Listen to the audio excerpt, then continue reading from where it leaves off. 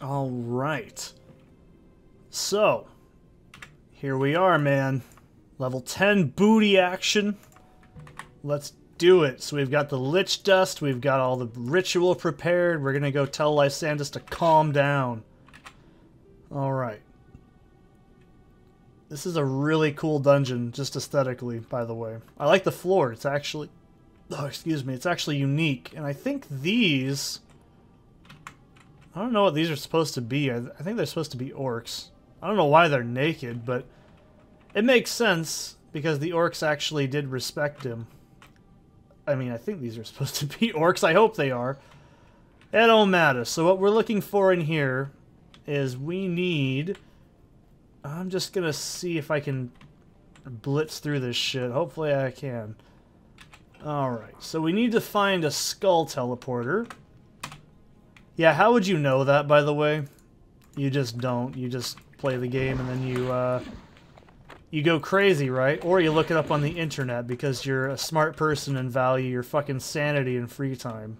Um, that's not even the last instance of this shit in the game, by the way.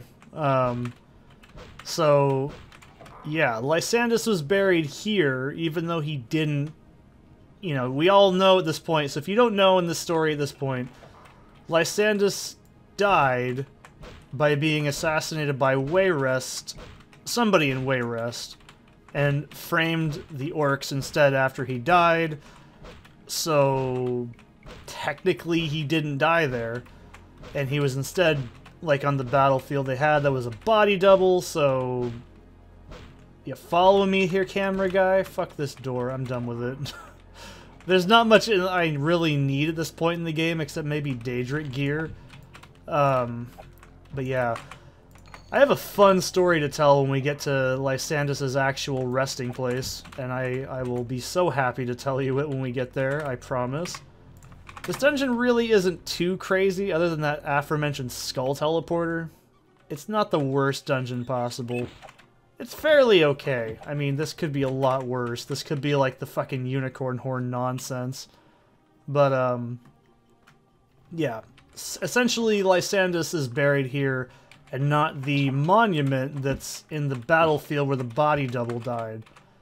And so, of course, after you finish this quest line, it initiates a slight deviation in the branching where we can determine what happens and how Lysandus' revenge will be extracted. Where the fuck did this thing come from? I think it came out of a secret. Uh, okay then. Well, let's see if there's anything over there. Well, what do you know? Seth's a thinker. He's a doer. He's a smart guy. Thinking he knows his shit, I bet. But, um, so yeah, Lysandus is in this tomb somewhere, technically, and we're going to exercise his spirit. In Elder Scrolls lore, this is about as, like, final as it can kind of get for a character, I guess. So, all you really need to know at this point in the story is if you ever actually have been to the city of Daggerfall at night, I've only described this. Um, if you go there at night, wraiths, ghosts, and I think that's it, they spawn and then Lysandus will scream vengeance over and over. Um, so if you try to do this before that, um, it's not really a good idea. Um, but this is the first step in stopping that. So if you want to make Daggerfall your personal playground at night, uh, this will help keep things a little bit more quiet. This is step one of two. Um, so as far as story goes, we're very close to the end. Um, however, there's one thing that you're probably wondering, and you can kind of infer it at this point, who was it that killed Lysandus then? If he didn't die on the battlefield, then it's probably somebody in Wayrest that we probably assume is evil and shitty. Who exactly did it? That's the that's the million dollar question, right? Was it was it a royal? Was it just a disgruntled dude? Was it who was it? We'll find out. Um, plot twist, I already know. Uh, and plot twist, it can uh, Well, I've already said it like 70 times, but we'll pretend I haven't said it 78 times, right? So, yeah, there's there's definitely some mystery if this is your first time playing the game, I guess. But for me, this is the... Well, actually, this will be my fourth time finishing Daggerfall from start to finish um, in ever, and my second time in Unity, too. Um, and I've said it numerous times this playthrough, but if you're crazy and just now tuning in, no, I've started Daggerfall at least like 30 or 40 times, and every time the game just dies because something fucking broke or... Not quest, I mean the game broke. Like, save file gets corrupted inexcusably, like, right near the end of the game. I have a fun story that involves this quest too, so I uh, I hope you guys are ready for when that happens. But um, yeah, no joke, dude. This is like, it's one of those games that I've nearly finished about a thousand times, and by the time the game fucking crashes on you for the eight thousandth time and then eats your save with it, you don't want to keep playing after that happens. Obviously, you get kind of uh, I think the word the kids use these days is fucking flustered just a little bit, or flabbergasted is the other word I'd use. Um, so you don't really want to keep playing it after that. So, yeah, but all things considered, this is a fairly easy dungeon. There's not really a whole lot of shit we got to worry about. There is, from memory, I think there's a vampire in here, but that's kind of your way of telling you're going the right direction, basically. It's not, it's not really like a very dangerous dungeon, all things considered. However, if you're stupid like I was when I first played this game, you're going to be in a really shitty position, which we'll get into later, because I was like, this feels correct. Hey, we've seen this module before, haven't we? Hmm, this seems familiar in the most peculiar of ways. But, um, yeah. So yeah, technically I have gotten to the end of the game. Like, this is the furthest I'd get, usually, before the game would eat my save, and I just say, fuck this game, I'm done with it at that point. I think that's a reasonable thing for most people to do, because it's like a 20 hour plus epic and grind to get like all the way to the end again, and that's just not worth it for a lot of players. Um, but you know, that's the thing. I, I love Daggerfall. It's a personal favorite game of mine. I have a lot of nostalgia for this game. I don't really have... Well, I have some criticisms of it, obviously, but I don't think that my criticisms are going to be the same as somebody who's looking at it from an outsider angle. Obviously, to me, this is a very very buggy, very awkward, very obtuse, very unfriendly game to the new player. But for someone like me who's played this game literally for over 10 years plus, these things to me are normal. This is why I always say I don't mind the combat in Morrowind and stuff because hell, I played this before I played Morrowind, so it was a lot easier for me to adapt to um, when I first played Morrowind and went, the fuck is this bullshit? Because, like a lot of people, my first introduction to ES was um, actually Oblivion. So I was used to the idea that, oh, wow, why am I swinging and not hitting the shit? That's really stupid. But then I had to think of it because I guess I was lucky, but I also realized as a youngin, I was like, oh, well, pff, shit probably uses something like D&D logic, right? Where it's all based on, like, dice rolls, and that's kind of accurate to describe Morrowind and this game's combat. Like, it's still very heavily inspired by TRPGs, um, or TTRPGs, but TTRPG sounds like titty RPGs, and, well, that's an entirely different kind of game. Or is it? Well, there's quite a bit of TTs in this game, too. See?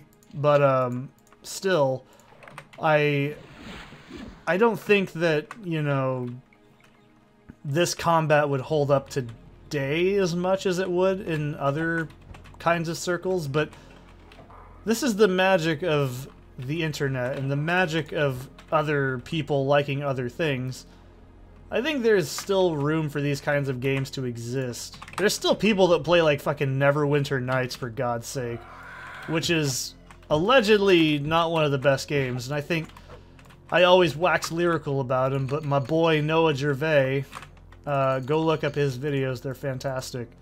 Uh, he puts me to shame. Um, like, those games aren't very good. And even as someone who doesn't, like, know the source material and has no experience with TTRPG mechanics and stuff, except, you know, things like this and, like, Fallout 1 and 2, I can totally get down with it and be like, oh yeah, that makes total sense. Like, how does armor rating work? It's based on this, based on this, based on this to go through this, and then you do this, and then it factors this. Okay. And then you die in one hit, and you go, well, that's just bullshit. I had no way of predicting that. And then the dungeon master will say, oh, well, we'll try again. Yeah. But, like, games like this, they didn't give a shit. Like, the chance of me opening that door the first time is pretty slim. Even though I've literally used lockpick a bajillion times doesn't mean it's going to work every single time, right? So that's something that like confuses a lot of new players to both I'd say Morrowind and Daggerfall because technically Morrowind is the sequel to Daggerfall. It was actually an improvement and uses a lot of the same functionality in this game that that game uses. So if you've played one game, you can understand it in the natural progression of things, right? Um, a good example is if you've played Oblivion, you can easily adapt to Skyrim, right? If you've played Diablo 2, you can easily adapt to a game like Torchwood, right? So, you see what I mean? Like, games of a similar type, you know, I guess the uh, expression I'm looking for here is birds of a feather, but, you know, that's my, that's my point. Like, if you are familiar with a type of game, it's a lot easier for you to adapt to things like fighting games to me, they're not as interesting, but I am more familiar with fighting games that feel more like a Mortal Kombat clone. So like a thing like Street Fighter to me is weird because it doesn't have chip damage. Like it's the small little minutia that separates my interest in like the mechanics and stuff.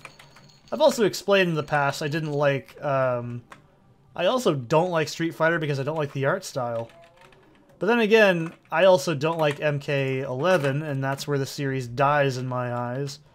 I think that that game has so many problems, both in the fact that it's just ugly, and I think in a fighting game, the last thing you want to do is be ugly, because it's a game solely entirely based on, you know, color palette, character designs, you know, and just in general, it's a great way to show animation tech off. It's all these really cool things. But MK11 just fuck ugly. I think it's an awful looking game. It's just gray and muddy. And MKX started to divulge into that too. I think MKX has some fuck ugly looking arenas.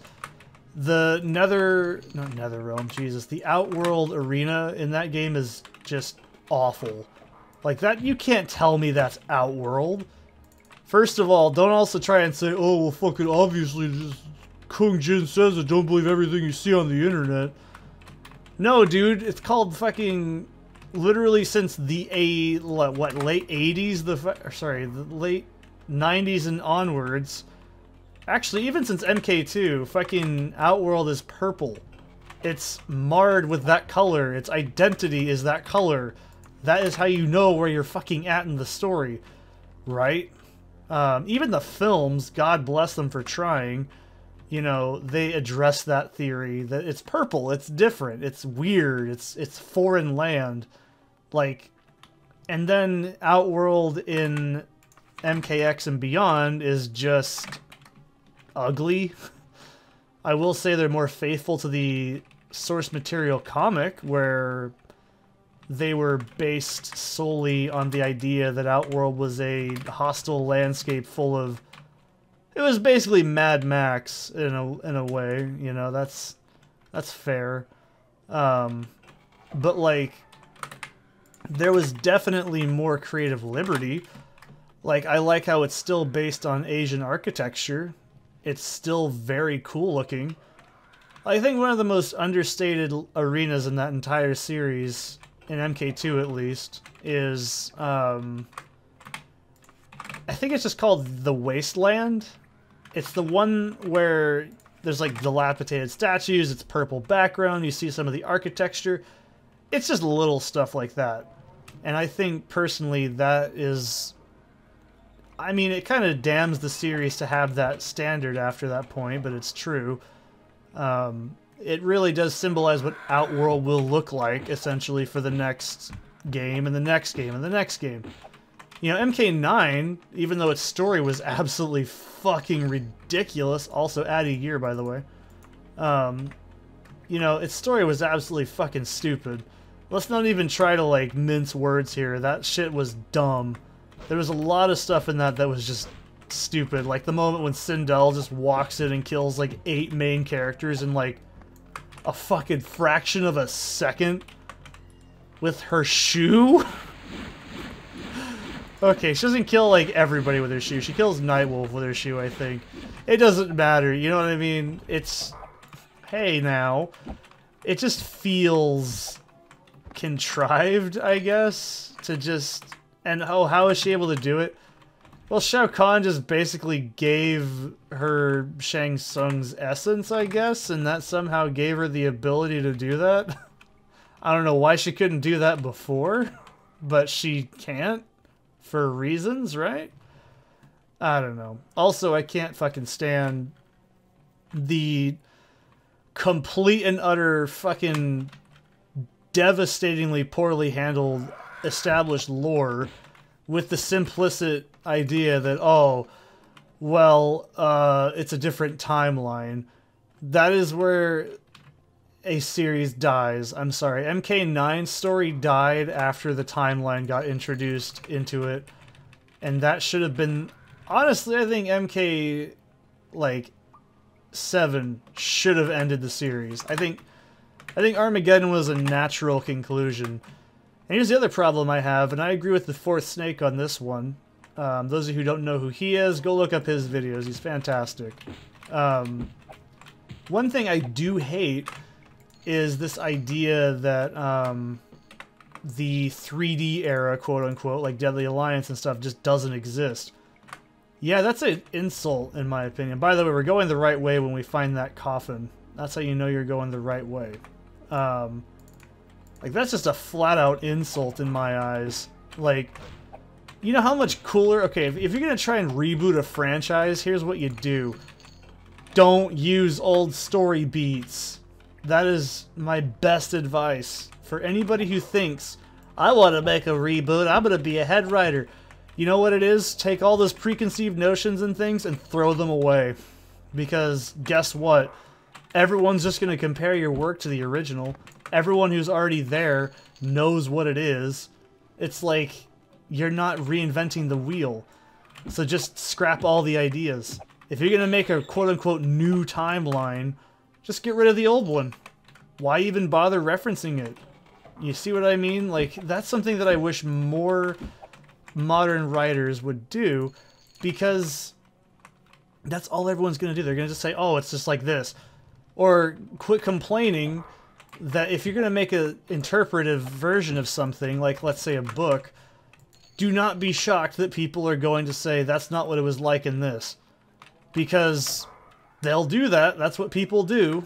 Um, I hate to tell you the sad, sad reality of when you open yourself up to that reality, people will do that.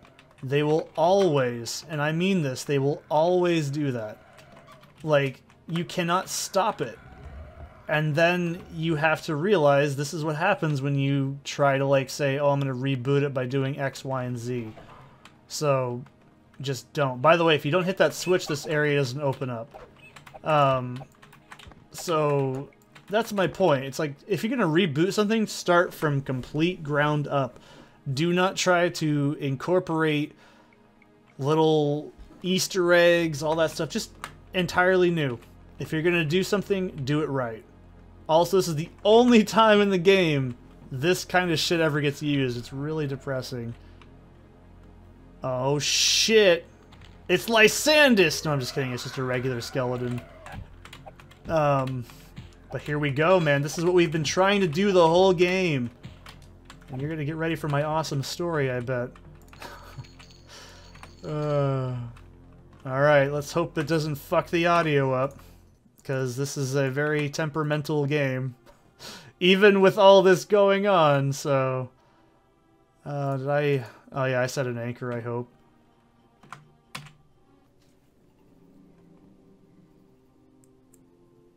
Ooh.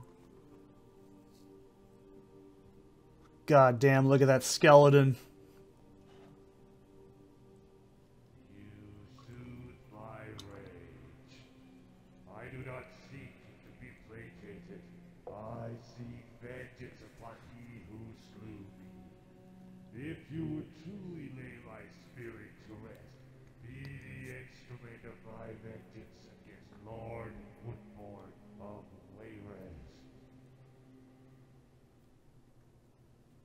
So yeah, if you couldn't hear that, I'm not sure how loud it came through either.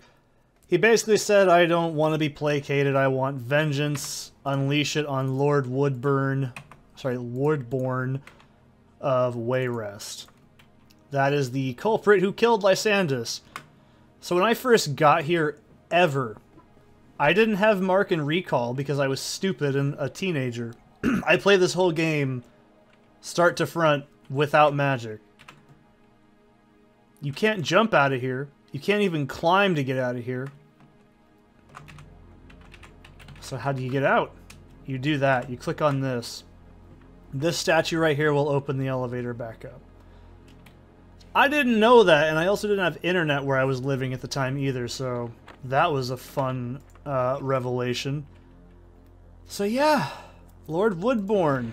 And we leveled up! Level 11 booty action. Okay, level 90 into agility, and we'll get, uh... Well, we're not going to level up that much more, probably. Let's go with...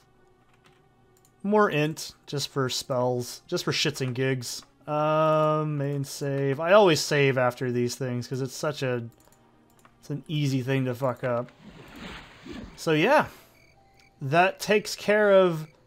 Oh, that's a weird lighting error. But uh, yeah, that takes care of Lysandus' spirit. But we still have one more thing to do. Well, not just cycle our weapons, but we have one more thing to do. And that is avenge him! Just like in the Hamlets. Uh, 3,400 gold should be enough. Alright. So where do we go to do that? Well, if Lord Woodborne of Wayrest wasn't clear enough, uh, I'm willing to bet you a lot of money. Now hear me out here. This may sound crazy. Uh, let's go to Wayrest and see if a new dungeon has unlocked.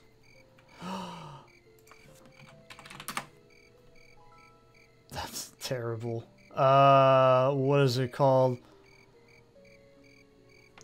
I think it's called Woodborne Manor. Wood Woodborne Hall. There we go. So we can go to Woodborne Hall. Now. Oh, look at that horse. You know what? I'm gonna do it. We'll we'll just we'll kill Lord Woodborne in like record time. All right, you guys ready for this? Because I hope you are. We're gonna have a double decker taco video. I'm sorry I said that too. All right, anchor that shit, and I'll show you how to kill Lord Woodborne. He's real easy. So, this dungeon is pretty easy and I've talked this dungeon up at length. Now, for a non-magic user, I don't know. I don't know what you do. As far as I'm concerned, you have to like hit some things to make these things... I don't know how it works. So you know what? We'll just do the smart thing and hit levitate and go up here. But hey, look, it's a sexy battle mage who's very dead. Ow, I think. Now, this is a pretty easy quest, all things considered. In the main quest of Daggerfall, this is the most reasonable one. Was that the mage I killed? Where did she fall? Oh, there she is. Um, so this one is interesting. You can solve this in a few different ways, and they all have different effects. Not very huge, but they're effects nonetheless. Now, so Lord Woodborne is of... Ooh, Addie's... Oh, shit, son. Look at that. We're fucking... Oh, man. Yeah, look at that. Yeah! Okay, so we got some Addy equipment. That is badass. Wow. I'm gonna rest just to dispel. But, um... That's so cool, dude. Um... So, there's two things you can do in this quest, and I believe the locations are always static in this dungeon. Which is nice, because you can just kind of pick and choose. So, or you can do both, I'm pretty sure. There's a packet of letters that basically expose Lord Woodborne, who, by the way, at this point in the story is just the bad guy. He has no actual story or any bearing on anything, right? Fucking hell. Will this thing open anytime this Sunday? Dice rolls are great, Seth says. Dice rolls are fine, Seth says. Dice rolls aren't a big deal. Seth says disingenuously. Um, so there's two things we can do. We can kill Lord Woodborne individually, or we can let him live and take the letters from him and give them to various characters in the factions. That's a possibility we can do. Um, or we can do a mixture of both. Now, as far as I'm concerned, I'm just going to kill Woodborne because it's the most easy thing to do. I think there's only one technical outcome that you can actually do that will cause Lysandus's spirit not to be exercised properly. Because after this quest, which is actually very almost... Ooh, Orcish Buckler! That's really cool just to sell. Um, Orcish is really rare, by the way. I'd like to point out, it's like rarer than Daedric, if I'm not mistaken. Um, but anyways, so yeah, Lord Woodborne can be killed and it'll soothe Lysandus as well. If you want to go ultra fuck you crazy, you can show Wayrest uh, nobility the things and you can get some reputation hits if you really want to. If you couldn't tell by now, Wayrest is basically the worst option in terms of the whole story, right? Like, they're just not good people. um, but yeah, there's a few different ways you can handle it. I don't know exact. Oh my god, Addy Claymore. Don't mind if I do. Um, we're also like level 12 or whatever we're at. What are we at? Like level 12? 11. I know what level I am. Um, so yeah, we can handle this quest in a very different way depending on what kind of person you are. Like, if you're going for pacifist, uh, like a linguist build or whatever, I mean, yeah, you can totally do the pacifist route and just book it to the letter and um, never touch Woodborne at all. Um, that's entirely possible. So there is some variation in this game that you can kind of end it with. Like, I don't encourage violence as a person, but this guy's kind of a cunt. I mean, we might as well just go in and blast his ass to the moon. I don't see a problem with that. He basically just tried to overthrow the entire empire systematically by sleeper agenting fucking shitty people through political schemes and defamation and trying to basically blame orcs for shit. Speaking of orcs, um, is that better than the uh, 8 to 17. Nah, but the minimum damage is pretty cool. I'm just stoked about this. I like this. I'll take Addy because it's just cool. Actually, let's get rid of this Dwarven shit. We don't need this anymore. we don't need this bullshit. Um, let me save too. Um, but yeah, we don't technically... Oh, this is the... Pretty sure this is the correct room area we need to be in. This is, I think, the room area that has Woodborne in it.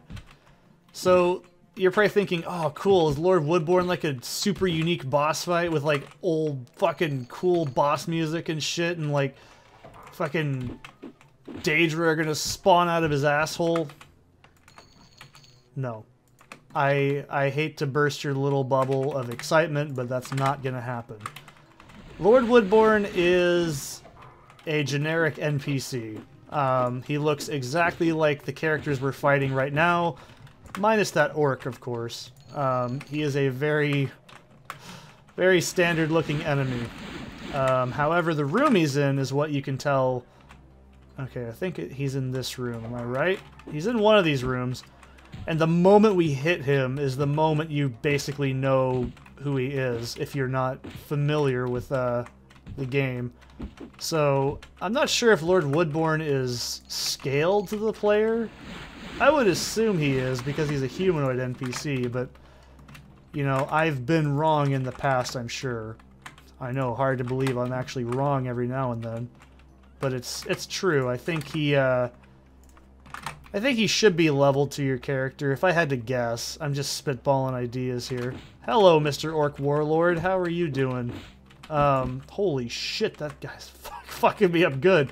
Wow. Um, so, yeah, Woodborne is a little bit of an anticlimactic boss fight, especially because we never actually see him or, like, well, I guess he's a show don't tell kind of villain, you know. He's implied to have been doing shit in the background the whole game, and hello, Mr. Centaur.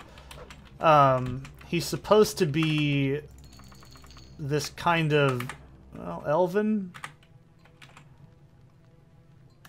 Hell yeah, man. We're fucking getting powered the fuck up here. Um, Lysandus's quest is pretty short. That's why I'm shoving this in there, by the way.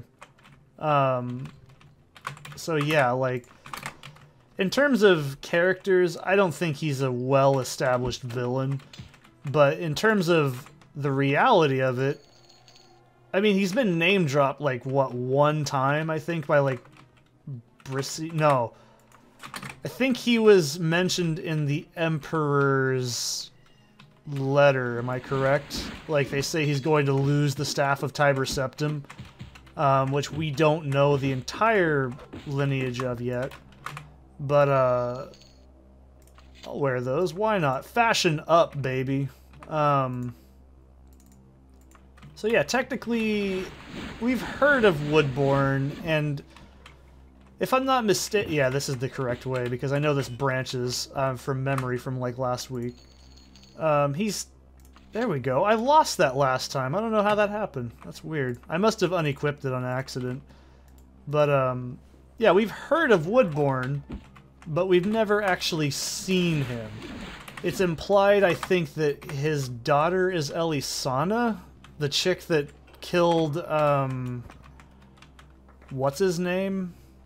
Let me double check, because I feel like this is correct.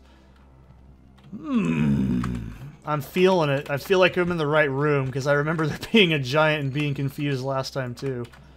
Um, so, it's implied, I think, that she's related to him, or something of that nature, so don't quote me on that, but it's it's not very well... There he is.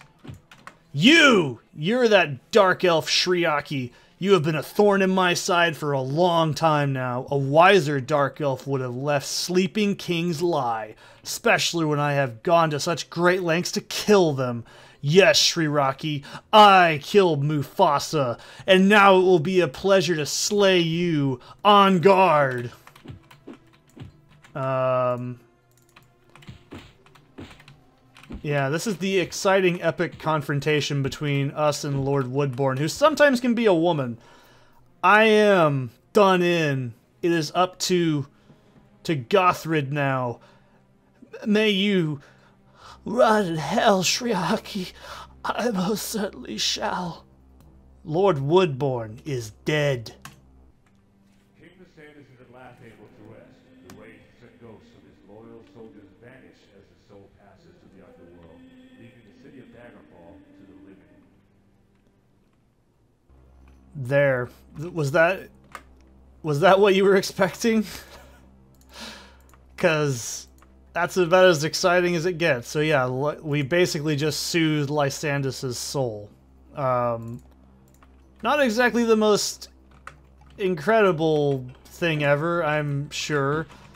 But yeah, sometimes he can also spawn in as a, a female character placeholder like these guys right here. So don't be shocked if all of a sudden you hit a woman and then she turns into Lord Woodborne. That can happen. Um, so, yeah, let's go ahead and get the hell out of here. Teleprot. And we'll do our wagon setup. And yeah, I need that iron fucking flail, but whatever. Um, so yeah, that's pretty much going to be it. Um...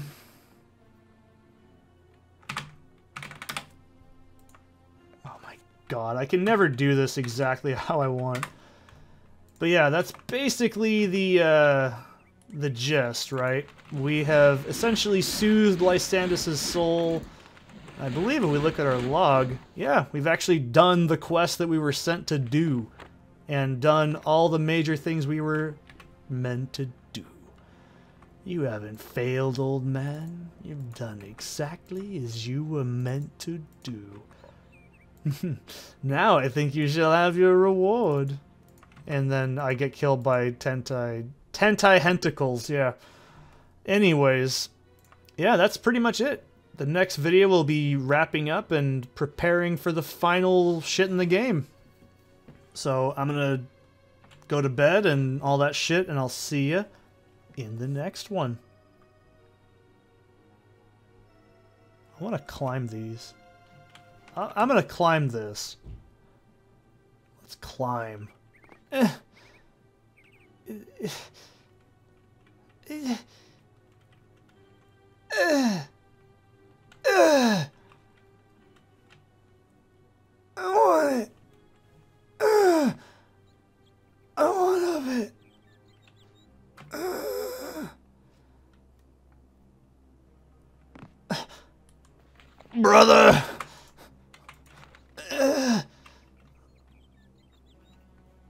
Yeah!